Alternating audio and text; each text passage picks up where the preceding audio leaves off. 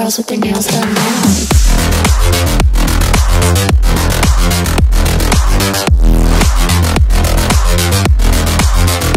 Girls with their nails done. I like the girls with their nails done.